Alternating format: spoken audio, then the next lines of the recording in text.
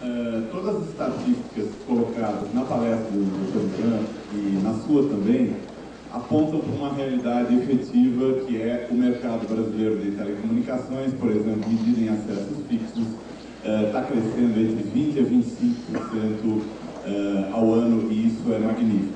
Portanto, para a divulgação das pesquisas, uh, para a divulgação das estatísticas, uh, principalmente para pesquisadores evidentemente para as operadoras também, há uma diferença conceitual grande entre as estatísticas da internet. É, o, o, número de hosts ele não inclui, só a título de esclarecimento, o acesso discado feito de casa. Dizer, o host ele é contado por programas, por robôs de software que saem andando por aí pelo mundo e contando, inclusive de linha dedicada à nuvem da internet. Então, os nossos computadores domésticos são ligados por modem através de escada, não são contados na internet. Nas zonas eletrônicas, de uma participadora de exportação e os impostos, induzindo fortemente a importação de insumos de maneira desnecessária.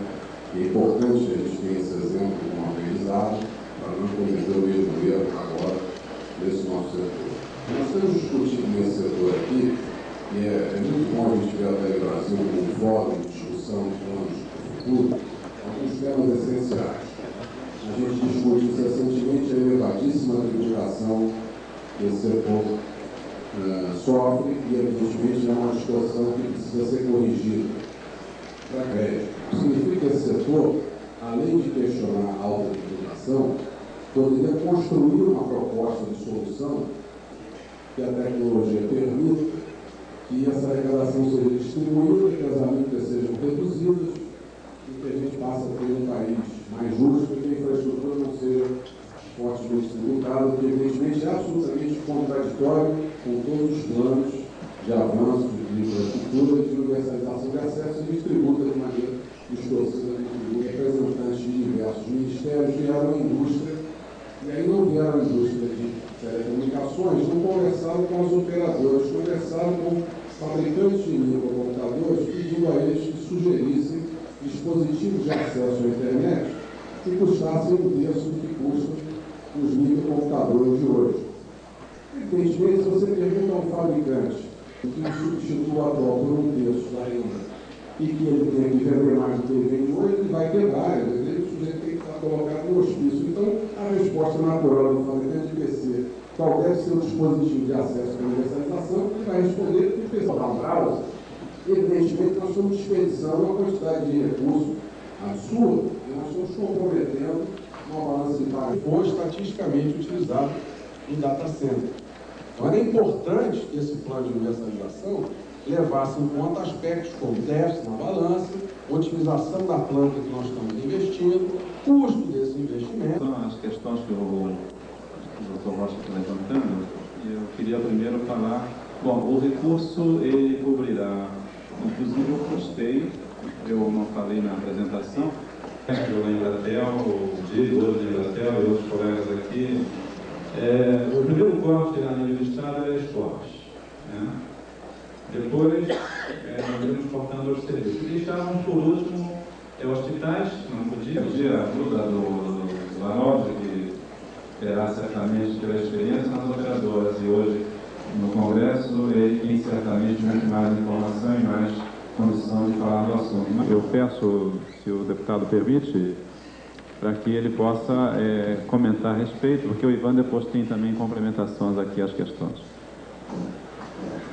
Hoje, pela manhã, eu tive o privilégio e, vez por outra, vem à tona e sofre o impulso de que vamos agora fazer. Mas é uma reforma que envolve uh, reforma constitucional e aí tem que ter um quórum qualificado de três quintos e isso, naturalmente, dificulta o processo uh, de formação dessa maioria. Então, essa lei, meu entendimento, e, existe uma série de regras infraconstitucionais constitucionais é, que podem ser feitas através de legislação encontrar um caminho político para medidas que poderiam limitar esta fome né, por, por recursos provenientes de taxação das telecomunicações nos estados, que sejam mostradas as vantagens de uma redução eh, de impostos, que hoje a média sobre telecomunicação, através das 8 mil vagas, e distribuiu para todos não compensaria, mas também a questão do, do, do fosso digital, desse imenso divisor social que temos no Brasil e que precisamos aliviar. Então, além, a, além do investimento de infraestrutura para chegar à população, além dos custos, nós estamos tratando aqui de custos de telecomunicações, imposto, tarifa, etc. Isso, sem A Netflix começou a vender uma maquineta dessa, sem disco, com uma versão meio capenga de Linux, que é frio, não tem custo nenhum. Essas são as primeiras gerações dessas maquinetas. Eles tiraram a capacidade nesse da Netflix, o endereço é